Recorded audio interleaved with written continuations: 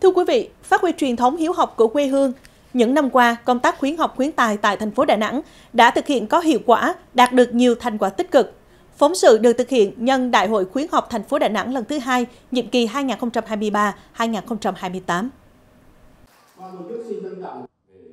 Xác định công tác khuyến học khuyến tài là nhiệm vụ thường xuyên, liên tục, có vai trò quan trọng đối với sự nghiệp giáo dục và đào tạo. Vì vậy, các cấp hội khuyến học trên địa bàn thành phố đã tăng cường công tác tuyên truyền, nâng cao nhận thức của mọi tầng lớp nhân dân, cũng như trách nhiệm của các cấp, các ngành về khuyến học khuyến tài, xây dựng xã hội học tập thông qua những mô hình, việc làm cụ thể, thiết thực. Hoạt động nổi bật nhất của nhiệm kỳ qua đối với Hội khuyến học thành phố và các cấp đó chính là sự huy động toàn bộ à, các cái nguồn lực của xã hội để tập trung vào công tác khuyến học, khuyến tài, xây dựng xã hội học tập trên địa bàn thành phố chúng ta. Ờ, tôi cho rằng ý nghĩa lớn nhất của hoạt động này chính là chúng ta đã lan tỏa các mục tiêu, các nội dung của một xã hội học tập mới trong toàn bộ cộng đồng dân cư để từ đó mọi người bằng những hành động cụ thể mọi ngành mọi đơn vị bằng những biện pháp của mình tập trung ờ, đưa thành phố chúng ta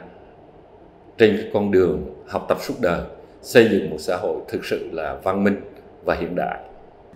trong nhiệm kỳ qua, các cấp hội đã vận động được hơn 185 tỷ đồng để trao học bổng và khen thưởng cho học sinh, sinh viên có hoàn cảnh khó khăn. Nhiều phong trào và mô hình hoạt động về khuyến học được thành lập và triển khai sâu rộng trong mọi tầng lớp nhân dân, như mô hình gia đình học tập, dòng họ học tập, cộng đồng học tập, phong trào dạy tốt, học tốt, tiếp sức đến trường. Đặc biệt là mô hình dòng họ học tập và gia đình học tập thực sự trở thành một phong trào của toàn dân, đóng vai trò nòng cốt trong cuộc vận động toàn dân học tập. Hôm nay khi nhận những món quà của tập Nguyễn Văn, cảm xúc trong em rất là khó tả vì đây là ghi nhận những thành tích cố gắng của em trong thời gian qua và cũng là động lực để cố gắng mỗi ngày hơn. Sau này khi trưởng thành, khi có điều kiện em sẽ quay về tiếp tục ủng hộ phong trào hiếu học và giúp đỡ các em nhỏ khó khăn. Thời gian tới, Hội khuyến học thành phố sẽ phối hợp với Sở Giáo dục Đào tạo trong việc nâng cao hiệu quả hoạt động của các trung tâm học tập cộng đồng, triển khai thực hiện có hiệu quả đề án đẩy mạnh phong trào học tập suốt đời trong gia đình, dòng họ, cộng đồng, đơn vị giai đoạn 2021-2030 trên địa bàn thành phố, theo hướng nâng cao chất lượng các mô hình học tập.